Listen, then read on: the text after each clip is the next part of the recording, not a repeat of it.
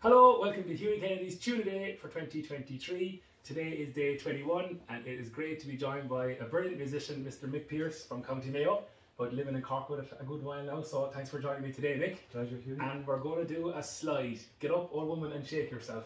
The, the bad names are just continuing. I really have to start getting out of the habit. I blame you, Mick, for choosing it. Three, four.